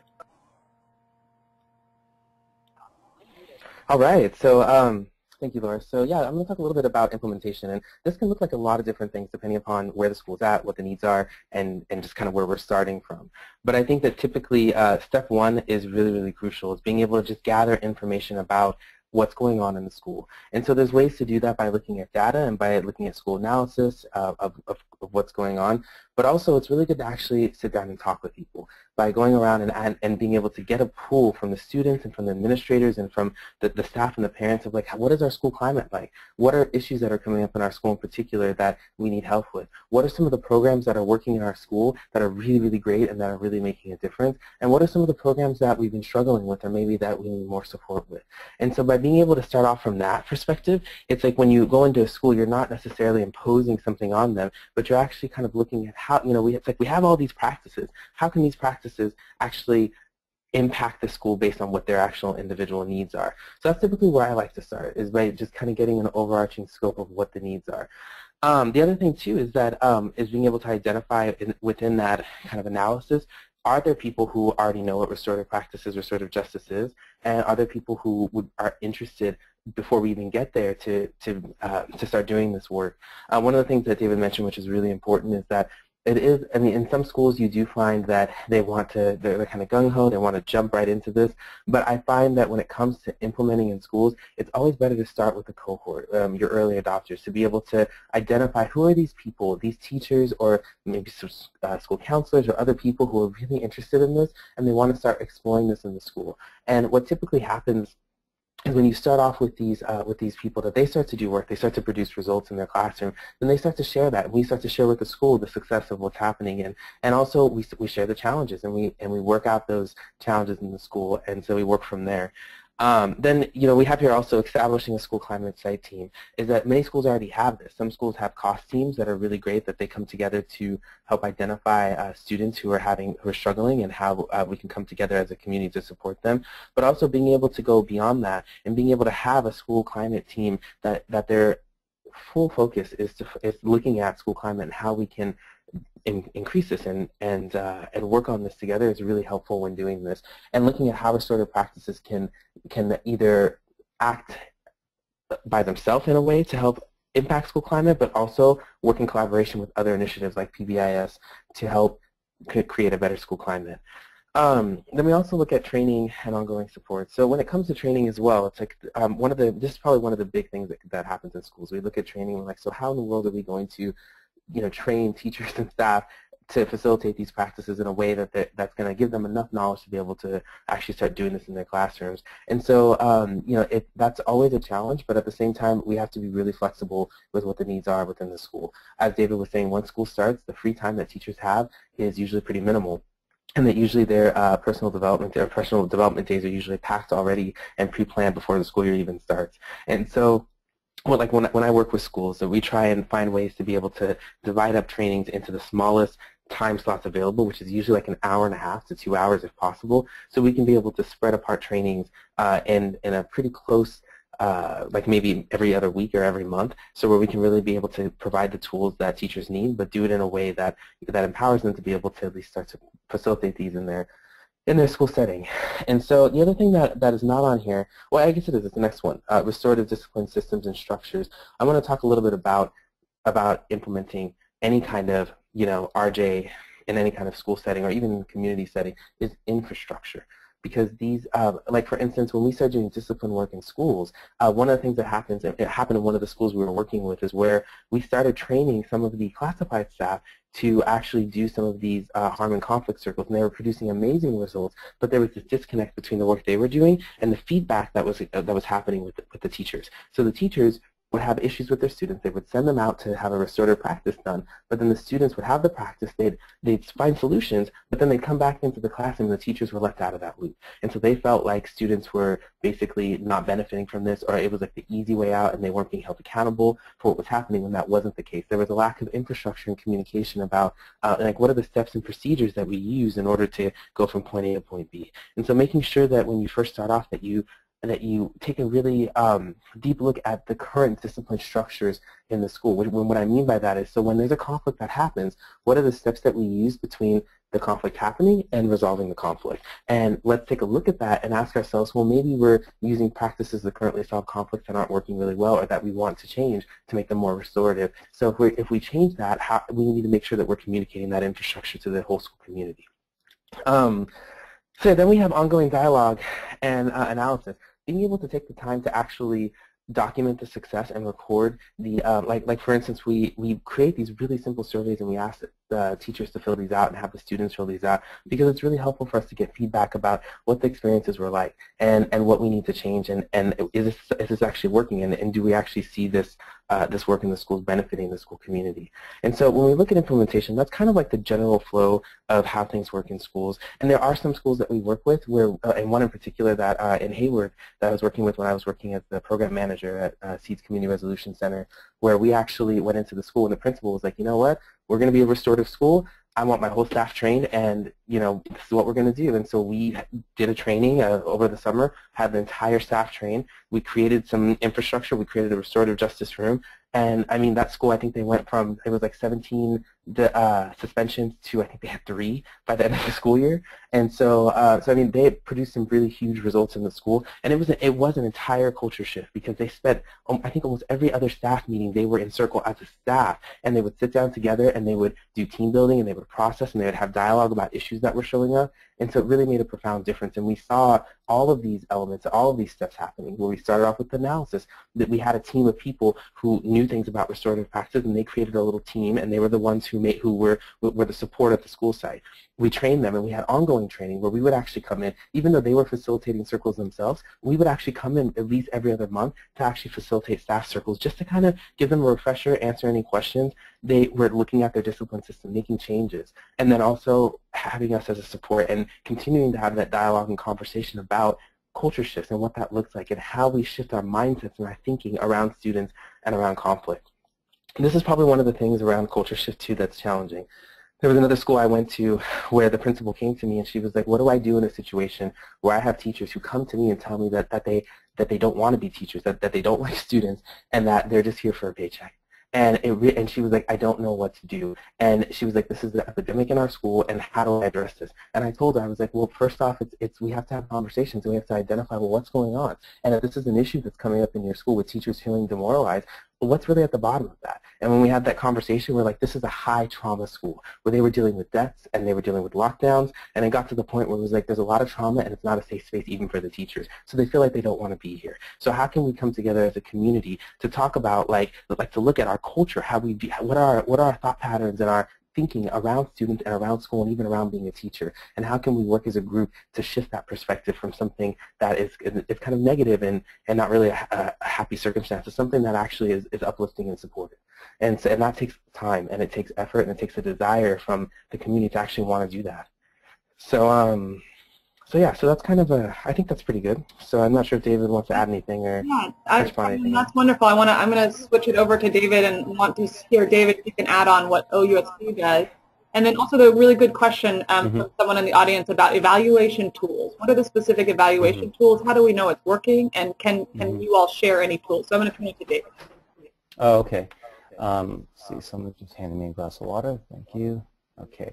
Um, um, Yes, we uh, usually what happens is that there is someone from the school or a group of people from the school that approach me and say, you know, we want to be a restorative justice site. It's not always the principal.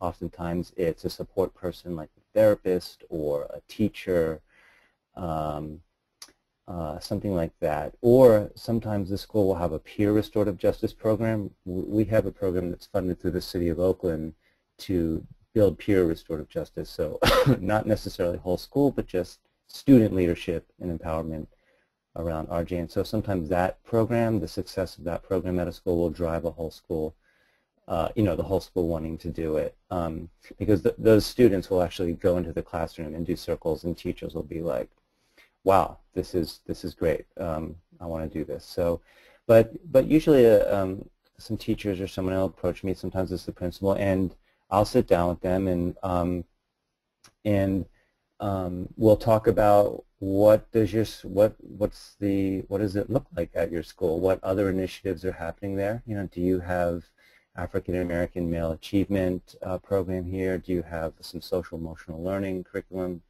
Um, you know, I don't want to um, cover too much of what Tyrone already discuss, but you know, we, we want we don't want to come in like, okay, here's what you're going to do if you want to do RJ. We we work with the the lay of the land of the school, and one thing about restorative justice um, that some people might have a hard time with is that there is no blueprint for this. Um, and I'm sorry if that disappoints a lot of you, but there is no blueprint. Each school has its own ecosystem, looks differently than the next school, and is going to take it on differently than any other school. And so we really need to assess like what's where are the strengths, where are the challenges with this school, what, what's going, what can we align with and support, um, and um, and work with each school individually. And so um, if a school is really interested, we will train a, a, team of people, you know, the, like I said, the early adopters, and then we will um, work with them to sort of do an assessment. Um, where are their strengths, where are their challenges, um, where are the priorities for implementation, um, do they want to start with a PRJ program, do they want to work with a, um, just the, the sixth grade uh, teachers first or just the ninth grade family um, and kind of figure out how we're going to um, slowly bring it to the school. One thing we don't do, um, which a lot of people really, really want, especially principals, is to start talking about the tier two or, the discipline piece. Um, we really don't focus on that at first. We are focusing on, you know, how are we going to build community at this school and what RJ practices and, and who's going to who's going to use them. And um, and then when it's logical, when it's time, start working with the administrators on discipline. Sometimes that happens more concurrently than, than other times, but um, but but we spend a lot of time on that that tier one first. Um, so um, so and then we you know we sort of there's like a feedback loop that happens, right? We do a lot of coaching. So I have myself and two district coaches, and we do the, you know, we have a model which I showed, uh, I discussed earlier, our, our three-tier model, and then we um, um, we train on that model, and then we coach people at the school site on that model. And some schools are lucky enough, sorry, to have a uh, an RJ coordinator on site, and so we work with that RJ coordinator to support whole support the whole school in implementing restorative justice. Other schools might rely more on like a site team, like um, the way PBIS implements at school districts is usually um, with, with teams, leadership teams, and so oftentimes there'll be a leadership team in the school and we'll support them. The one thing we don't want to have happen is, is if there is a restorative justice coordinator on site, is for that person to be the firefighter or the, the person that does RJ for the school. And that's the temptation and that often is what happens. And you have to be very intentional and clear with the school that here is a person that's going to be here for you know anywhere from one to three years, maybe um, longer if you're lucky. Um, that is going to support you in implementing restorative justice or, or support you in owning this this culture shift and they are not going to be doing it for you and so it's it's really important that that the uh, that that distinction is made um, so Laura, what, what was, I forgot, did you have another question? I was, uh, there were two questions that came through. One was the evaluation tools, and can you provide evaluation tools to folks? Do you have those? And, oh yeah. And then the other one um, that just Yeah. came in from the from the internet was, um, uh, would you, uh, sorry, when you speak of ongoing training, step three, uh, what specific skills would you try to train teachers beyond circles? Are there other things that um, through, I, I think the question is probably about um, for restorative justice, those practices general that are relationship building practices, are there other ways to help teachers um, to gain and use those skills beyond circles? Are there other other, other uh, methods? I, I'm, I'm thinking, but someone can Mhm. text in if I uh, send a chat message to me if I got it wrong. Okay, so evaluation tools and then um, does it have to be all circle all the time? and I think more just what other ways can we reach teachers and train teachers? I think is the other way on these on these really important relational practices. Hmm Um, evaluation tools, you know, we we are, are just now starting to collect um, data, and the way we've been doing it specifically around restorative justice is that we've, um, you know, it's, we've basically created a Google sheet, and It we've seems to asked me in addition to your comprehensive- um, David, really quick, in, in addition to your comprehensive study, though, just so people don't get confused, because you did have a comprehensive outside report, and none of that, those tools are not used. Yeah, regularly. The tools that the researchers used aren't being used regularly. Is that what you're saying? Well, the researcher used um, data that we have. So, you know, we have our Aeries database um, that, you know, so stuff like suspensions and, and uh, things like that go into. And so she, she was able to use that database and, and other, um, the City of Oakland database because we entered, we entered data for, for our peer RJ program into that database.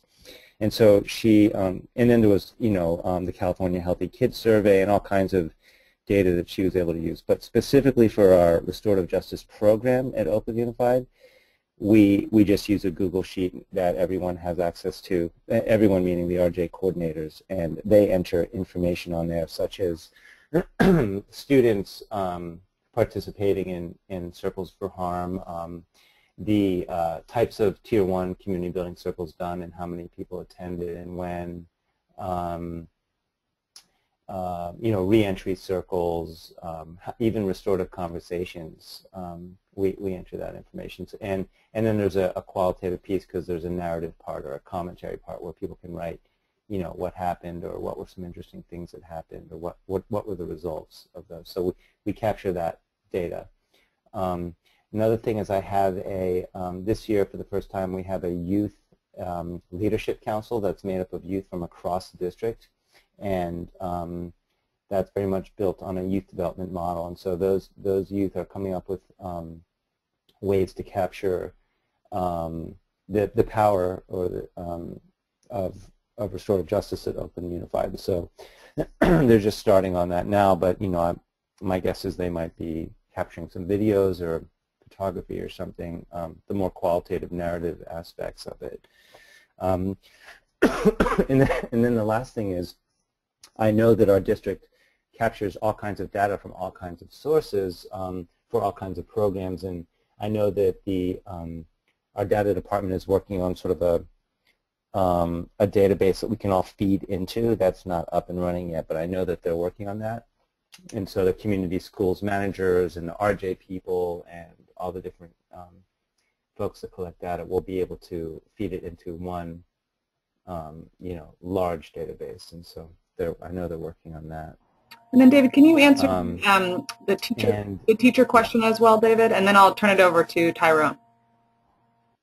Yeah. So, um, yeah, I, I, I, you know, in talking with teachers, um, they, especially if you're doing circle a lot, you know, like um, every week or on a regular basis, you know, multiple times a week, it's definitely not, um, it, you don't have to do circle all the time because people can get, um, uh, you know, like, hey, can't we do something else? and so if the idea of your circle um, that you would be doing is to build community, there, there's a million ways to build community in your classroom that doesn't involve circle.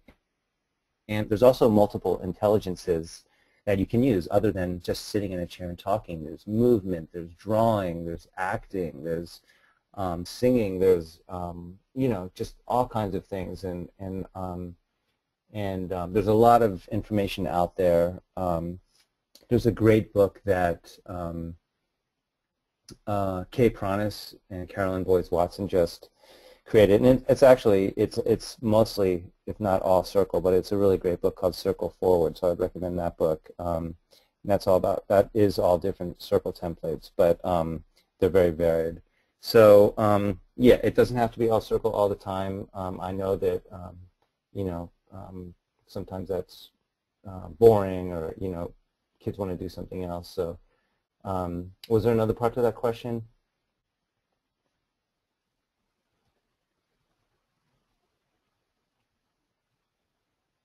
Laura, you there?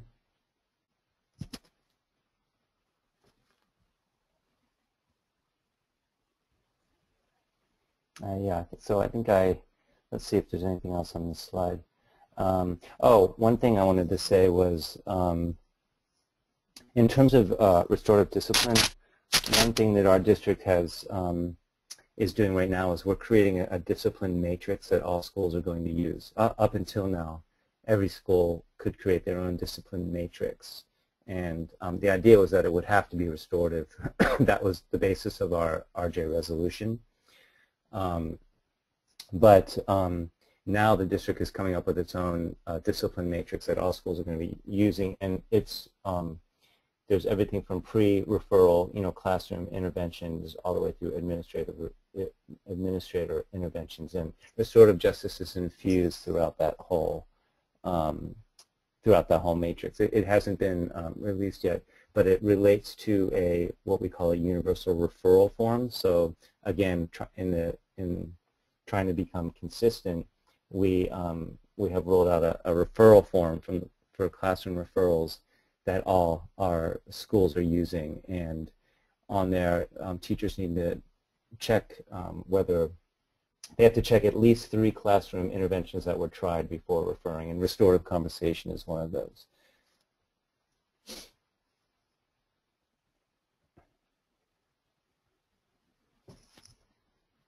Let's see, is there another question? All right, so I just got unmuted, so I think that um, there might be a problem with Laura's microphone, David. But um, oh, oh, okay. I'm switching you over to. Tyrone, and I'm gonna. I have to mute mute us um, to get feedback. So love to hear Okay, from you, and also we'll we'll talk about trainers. There are a number of people that ask who can do the training, and we're going to answer that question. I'm going to switch the slide here to the next slide, um, and it has some of those resources. I'm going to let Tyrone answer some of those questions and add on. Okay, cool. Was there a particular question you wanted me to focus on, or? If there was anything you had to add, or, or any other ideas you had for those those last couple of questions that um, David was fielding, um, I think you know anything else, any other thoughts you had about the teacher work or, or evaluation tools that you use with schools, um, anything else that you know you think might be of use to folks, and then we can talk about training, um, where you can get training and consultation for your school. Okay, great. Um, yeah, I mean, I feel like uh, I mean David covered that pretty well around around different types of analytical tools, and I think that um, yeah, I don't know if I have anything in particular to add around that. Um, I did. There was a question that someone had had asked a while back about around um, teachers in training, and um, I'm not sure if we actually answered that fully. And they, I think they had asked. Um, is there, uh, like, do we train staff, and would you use circles with staff, and would they follow the same structure? And I, I guess I see that one here, so I can talk a little bit about that. And I would say yes and yes, and um, that actually, when, when I work with schools, I like to be able to work with with student with teachers uh, in the beginning, even before we work with their students, to kind of give them an idea of what circle looks like, and also so they can actually be able to benefit from the the actual practice of being in circle and being able to build community with their colleagues and also being able to get the feel of what it is. Um, most RJ practitioners that I know of will tell you that, you know, it's one thing when we do a training when we talk about circle, but typically people don't really fully understand what it's like until you actually get to sit in one and experience it for yourself. And so I think for teachers to be able to have that opportunity with their colleagues can be a really powerful thing. And also, uh, I also wanted to emphasize even a little more so um, peer programs and being able to uh, utilize students in your school, and that typically, and I know there's, there's lots and lots of data on this around um, this around how students feel more safe uh, or feel safer being able to uh, participate in these types of practices, especially around conflict and harm, when they're actually being led by their peers instead of adults. And so, um, and students can do this work. Um, when you guys uh, have the opportunity to watch the MetWest video, you'll definitely see this, and you'll see how um, how it's a student-led circle, and that in schools that we can build the capacity and train students to be able to facilitate these practices as well. Um, let's see, and yeah, and I guess that I we can kind of go on to the I, the next thing we're going to talk about is that where do you find support in doing trainings? And as you see on this page right here, we have a, a few different things. The Fix School Discipline website is amazing. You'll find lots of resources there that will help you, um, giving you tools on how to contact uh, other practitioners throughout the entire state of California, and uh, and also just some tools about uh, and resources around some of the current laws that are being passed and initiatives that are pushing through, and how you can support support um, and, and how to actually support your school community and getting them ready to start considering these practices. Um, underneath here also you have the website to David's um, um, uh, to OUSD's uh, restorative justice website, which has a lot of resources and more information about the work that David's doing, and also the really amazing report that Oakland just uh, released about uh, the, some of the results of the restorative practices in Oakland. And then you have Facebook's uh, Fix School Discipline. You have Twitter, um, Keep Me in School. I'm not familiar with what that is, but um, that might be Fix School Discipline's Twitter.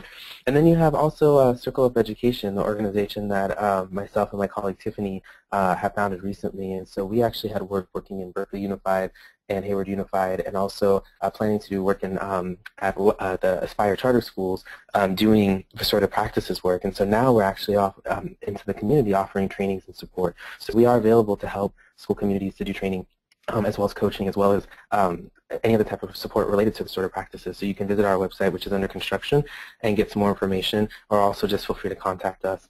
And um, and also, too, there are a lot of um, other organizations. Uh, one of them is the uh, Restorative Justice for Oakland Youth, who's doing work in the community. You also have uh, the Restorative Justice Institute with Rita Alfred, and they do trainings as well.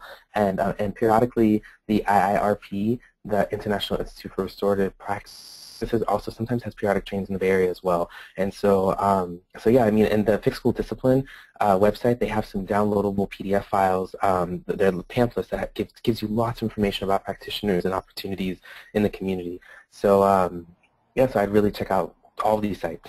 Thank you so much, Tyrone. And so um, Tyrone basically gave you the full listing, but I just wanted to let you know if you go to our website again, fixschool.discipline.org, and you download the toolkit, in the very back there's basically a full listing of all the RJ practitioners um, and trainers that we know that serve California. And you can just skim through all of them. We don't recommend particular ones, but we, we have all the ones that we know are doing work and that we've seen um, them, that they're working in schools and with schools and that schools are working you know, with them. And so um, we recommend you go to that. Um, and then uh, we are going to send out, just so everybody knows, after this, we are going to send you out the PowerPoint. We will also send you the links to the two videos that we're so sorry we could not show you today. And then um, someone had just asked whether or not, David, you would be willing to share those evaluation tools that you talked about. You or Tyrone. And so if those are available um, to be shared, um, I will um, connect with you all right after this and see if we can also include those in the email. And really want to feel free, please, everyone who joined, share it, this, this, this information in far and wide as you'd like to. And obviously, if you have um, questions or concerns or anything else, or you want to talk more about this with us, please email us. Don't hesitate to do that. And um, you know, we apologize for some of the technical difficulties today. We had we had a, more than we more than we wanted, but we appreciate great attendance from all of you and wonderful questions.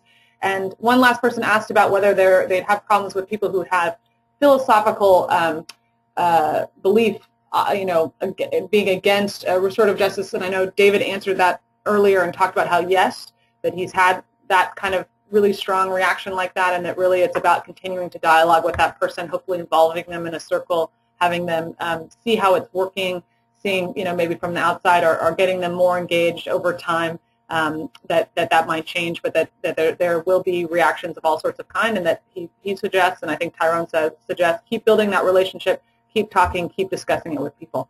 So thank you all very much for joining us and we hope everybody has uh, a wonderful, wonderful rest of your day. And thank you so much for your interest. And we hope that um, you, you know, share this with as many folks as, as you can. Take care all.